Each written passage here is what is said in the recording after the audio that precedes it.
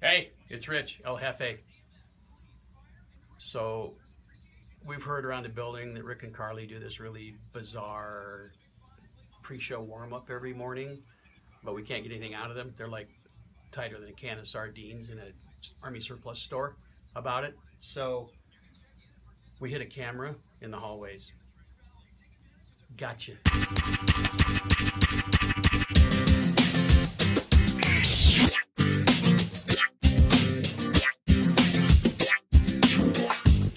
Thank you.